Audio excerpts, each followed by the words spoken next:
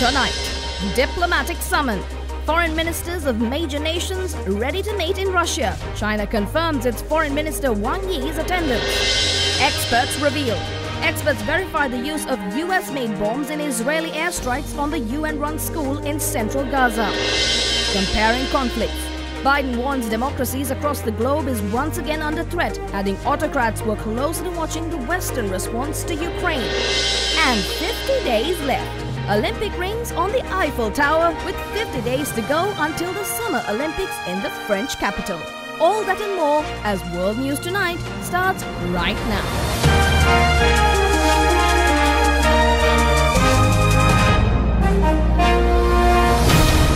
This is Ada Derana World News Tonight. Reporting from Colombo, here's Anuradhi Vikramasinghe. Very good evening and thank you for tuning in tonight on World News. We have lots of fresh updates to bring to you tonight and we begin with some regional affairs over in China. Chinese Foreign Ministry spokesperson Mao Ning said today that Chinese Foreign Minister Wang Yi will be attending a BRICS foreign ministers meeting in Russia from the 10th of June 2024. The Chinese spokesperson said that Wang is also a member of the Political Bureau of the Communist Party of China Central Committee and he will exchange views with the foreign ministers of the other BRICS countries and invited foreign ministers from guest countries on issues related to the BRICS cooperation and the current international and regional situation and prepare for the 16th meeting of the BRICS leaders. In a historic milestone, BRICS expanded its membership and welcomed six countries in August last year during the 15th BRICS summit in South Africa's Johannesburg. Noting this is the first meeting of the foreign ministers since the expansion of the organization's membership, Mao said that China is willing to work with its partners to consolidate the BRICS strategic partnership, deepen practical cooperation in various fields, and enhance common development of the global south and achieve a good start for the greater BRICS cooperation. More in China now, the Chinese Foreign Ministry said today that Beijing will be allowing the Philippines to send vital supplies to a warship grounded at a disputed shoal in the South China Sea if it gives an advance notice. The comment was in response to the Philippine Coast Guard's accusation that its Chinese counterpart blocked efforts to evacuate a sick member of its armed forces in the South China Sea, calling its actions barbaric and inhumane. The incident, which Philippines said took place last month, involved a member of a small contingent of marine posted to guard the BRPS Sierra Madre, a Philippine vessel grounded at disputed Second Thomas Shoal, which China refers to as the Renai Reef. The Philippines and China have sparred repeatedly this past year near disputed features that fall in Manila's exclusive economic zone. China routinely accuses the Philippines of encroachment, while Manila and its allies have condemned what they call aggression by Beijing. And now some updates from the Israel-Palestine conflict. Following Israel's airstrike on a UN-run school in central Gaza yesterday, a report has cited experts who verified the use of US-made bombs. Meanwhile, Hamas says no ceasefire proposal will be signed without a permanent ceasefire. Weapons experts analyzing footage of the Israeli airstrike on a Gaza school, where around 40 people lost their lives in the early hours of Thursday morning, suggest that Israel likely used US-made bombs. According to a Washington Post report on the same day, five experts who examined footage taken following the attack verified that the nose cone of a GBU 39 small diameter bomb was manufactured by Boeing. Local officials in Gaza said that Israel had hit the Al Sardi school operated by the UN Agency for Palestinian Refugees in the Nusayr refugee camp. The school was reportedly sheltering displaced people, with local officials saying that at least 37 people were killed, including women and children.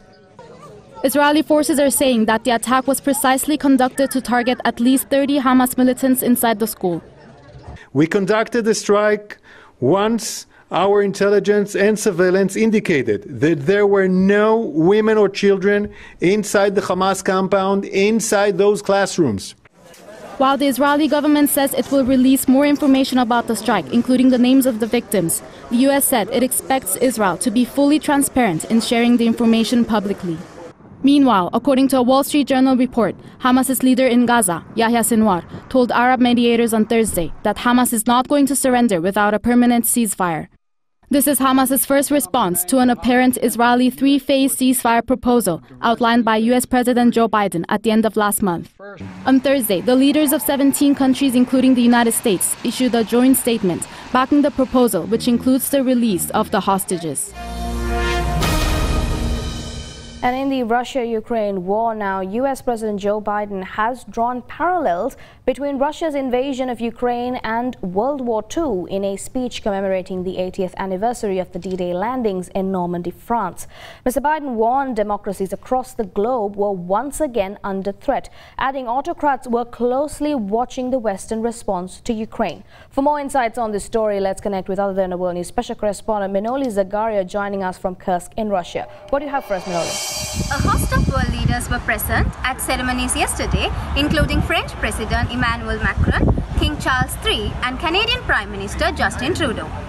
Mr. Macron said, as the gathered world leaders gave Ukrainian President Volodymyr Zelensky a standing ovation, that they thank the Ukrainian people for their bravery and they are here and they will not weaken.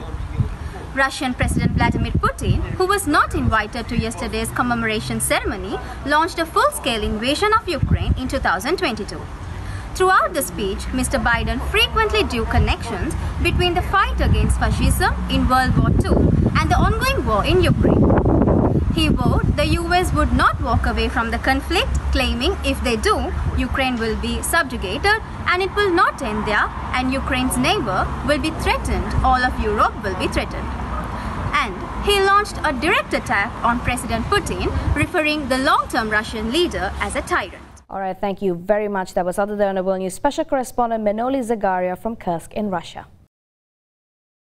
And marking the closure of the Olympics Paris 2024, organizers unveiled today a display of the Olympic rings on the Eiffel Tower, with just 50 days to go until the Summer Olympics in the French capital. The construction measuring 29 by 13 meters and made by recycled steel was installed at night on the south side of the Paris iconic Eiffel Tower.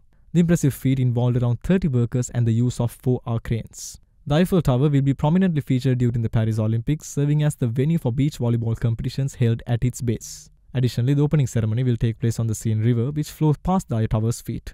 In a nod to history, pieces of steel taken from the Eiffel Tower have been incorporated into Paris 2024 Olympic medals. The Paris Olympics are scheduled to occur from the 26th of July to the 11th of August. The largest union at South Korean tech giant Samsung Electronics began a walkout today and the union delivered guidelines to all of its 28,000 members regarding taking collective leave, stating that it's only the first step of plans for a general strike. The largest union at South Korean tech giant Samsung Electronics began a walkout on Friday. The union delivered guidelines to all of its 28,000 members regarding taking collective leave.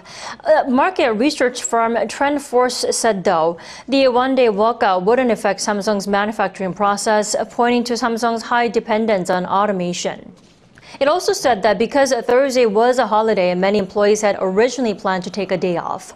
An union official said that the collective leave is the only first step of plans for a general strike. It is unknown how many employees are taking part in Friday's walkout.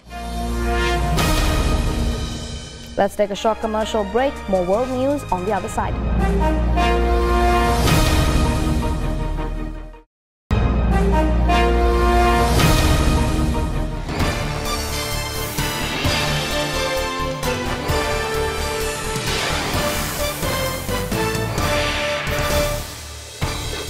And on the road to the White House tonight, five months out from the presidential election, the state of the youth vote in some ways remain a question mark.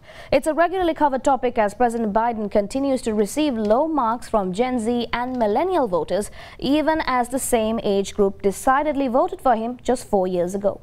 Among younger black, Latin, and Asian American voters who overwhelmingly sided with Biden in 2020 and at higher rates than young white voters did, support has considerably faltered, according to the University of Chicago's latest Gen Forward survey. The survey, exclusively obtained by NPR, which was conducted from May 10 to 22, polled the political attitudes of 2089 Americans under 40 with largely equal samples of white, black, Latino, and Asian American and Pacific Islander individuals. It found that just one third of all young Americans said they would back Biden if the election was held at the time of the survey conducted.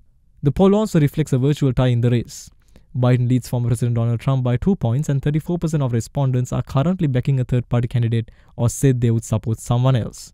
Despite speculation over how US support for Israel army may negatively affect Biden's youth coalition, the poll found that war in Gaza is not the top voting issue for most young Americans. Instead, economic concerns, particularly over inflation, remain front and center.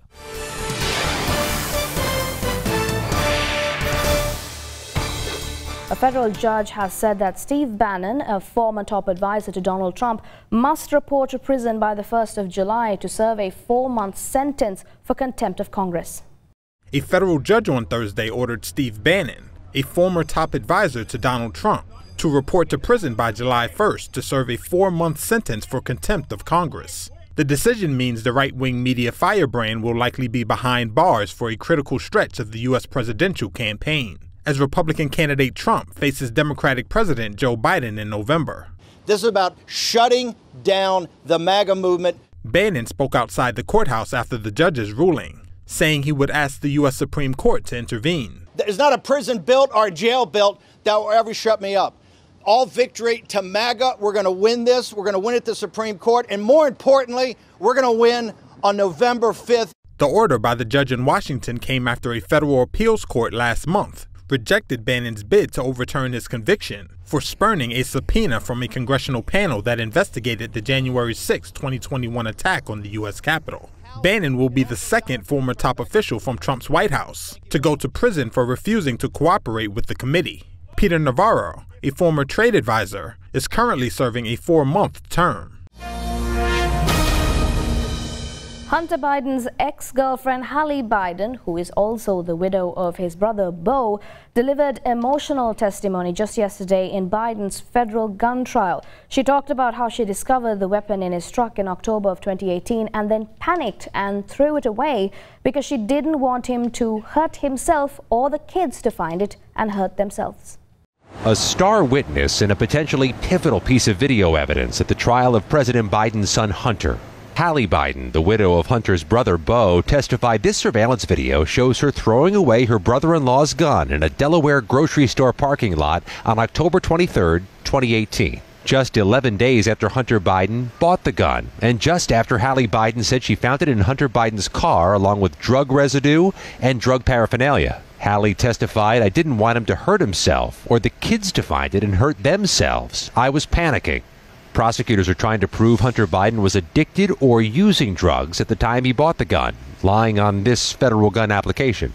Hallie Biden also described taking up a romantic relationship with her brother in law about a year after her late husband, Beau Biden's 2015 death, telling the jury it was also Hunter Biden who introduced her to using crack cocaine, calling her drug use a terrible experience. I'm embarrassed and ashamed prosecutors showed Hallie Biden the gun and images of the satchel in which she found and discarded it.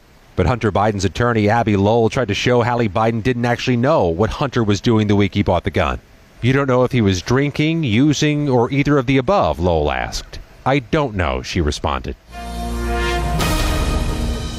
Homelessness is on the rise across major Argentine cities as the new libertarian government's tough medicine reforms squeeze pensions, state salaries and push up rental prices, forcing more people into poverty.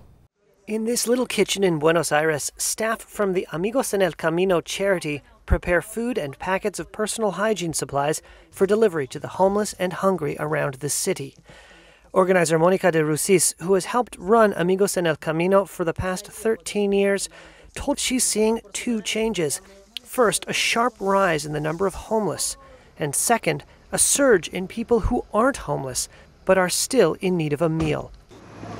Homelessness is on the rise across major Argentine cities as the new libertarian government enacts what it sees as tough medicine reforms this means fiscal cuts that are squeezing pensions and pushing up rental prices, forcing more people into poverty. The latest survey by local authorities showed the official number of Argentines sleeping on the streets of Buenos Aires reached 4,009 in April, up from 3,511 a year prior.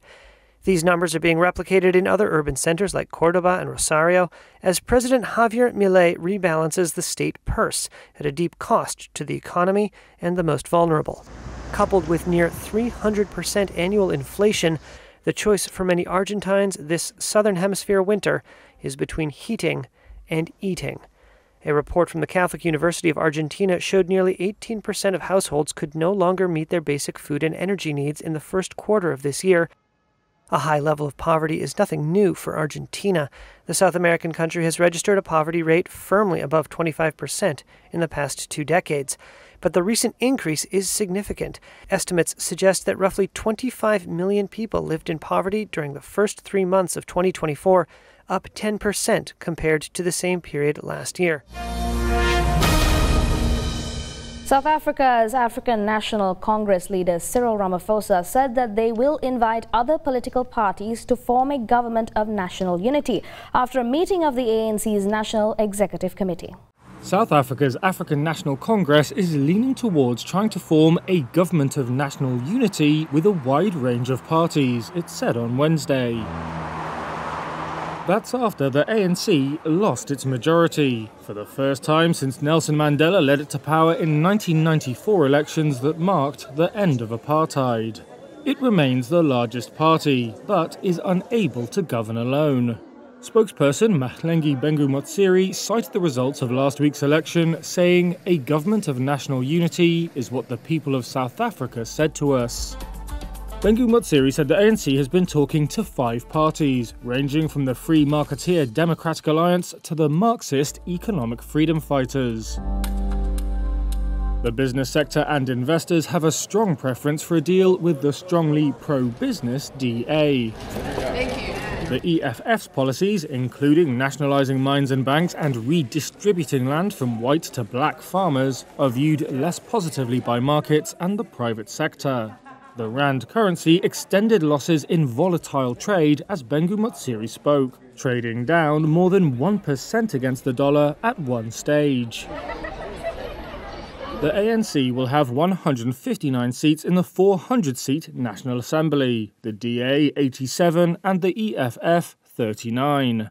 A new entrant, Umkhonto we Sizwe, or MK, came a surprisingly strong third in the May 29th vote and will have 58 seats.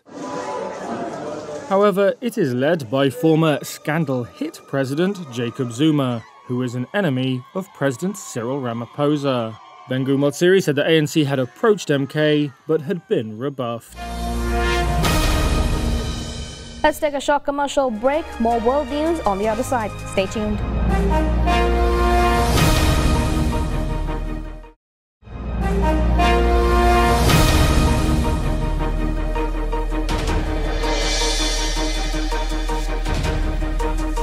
Welcome back. Before we wrap up, here are some updates on the ongoing T20 World Cup matches.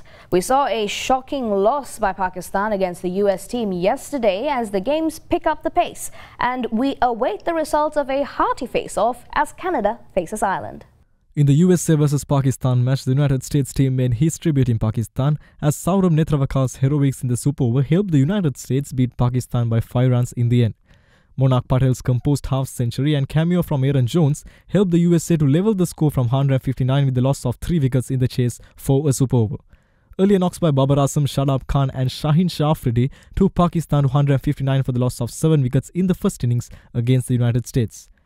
In the match between Namibia and Scotland this morning, knocks by Richie Berrington and Michael Leask helped Scotland defeat Namibia by 5 wickets in their T20 World Cup 2024 Group B match. Opting to bat, Namibia posted 155 runs for the loss of 9 wickets in the end of the 20 overs, with skipper Gerhard Erasmus scoring 52. For Scotland, Brad Wheal scalped 3 wickets and later Scotland chased down the target in 18 overs and 3 balls, with Berrington and Leask scoring 47 not out and 35 runs respectively. The encounter between Ireland and Canada kicked off a while ago at Nassau County International Cricket Stadium in New York. Ireland won the toss and chose to bowl first, inviting Canada to initiate the batting. Both teams lost their first matches in the group stage games, with Canada being defeated by the United States and Ireland facing a loss against India. And that's all the stories we have to report to you tonight on World News. Tune in again on Monday for more key updates from across the globe. Stay tuned as Sina Mayadune will soon join you in just a moment with a nightly business report. Thank you for watching. Good night.